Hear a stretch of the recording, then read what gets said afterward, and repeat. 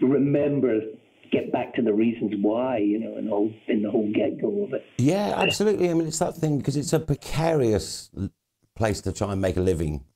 Anyway, you know, it's quite frankly ludicrous thing to do.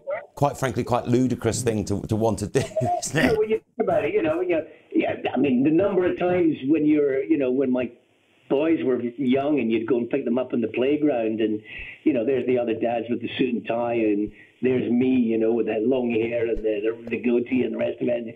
What do you do? And, you know, I, I'm, oh, I play drums. And, uh, yeah, but what do you really do? Yeah, yeah. That old chestnut. yeah, yeah. Have you got Have you got any gigs over the Christmas period? yeah.